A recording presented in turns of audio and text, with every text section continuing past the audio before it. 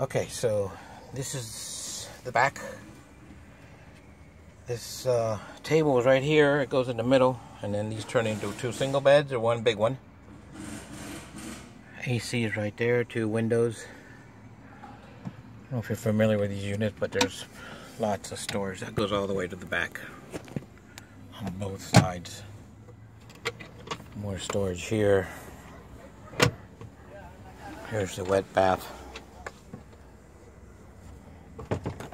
Let me turn the light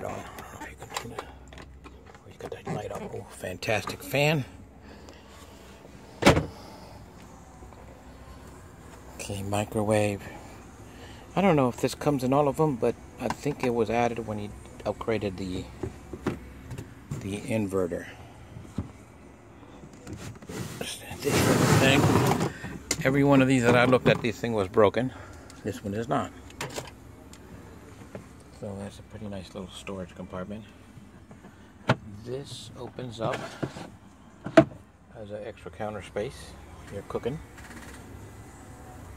Refrigerator works on 12 volt while you're driving. Works on AC and DC and propane.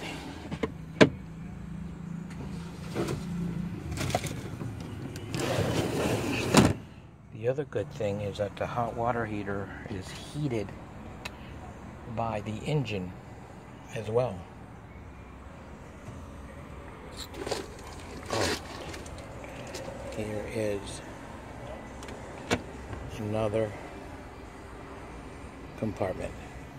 And we got storage in these little things. This thing pulls back. I keep this windows closed. Hold on. You can see that. Just back. Compartment and there's also a compartment up here while you're driving.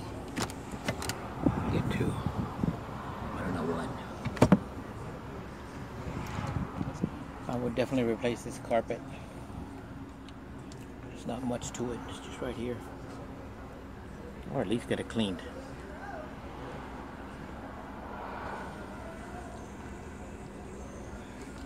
Not much to these things. They're very well built, engineered by a. Oh, here we go. Here's the. Let's start the generator. And I always keep the AC on, so it's gonna take a while. AC on. Battery is on. I'll turn this thing on here. Fantastic fan. Don't know why they call him a fantastic fan. There goes the AC is cranking on. Oh, that feels good.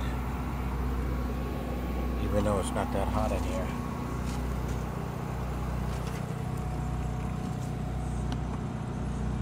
Just had these generator service. Well, he's telling me that all this is going to cost around 2000 I don't see how. What's he gonna do? Oh, he's gonna. Also, I have, I'm gonna have him service the rear end differential because I don't remember last time that was done. All right, that's it.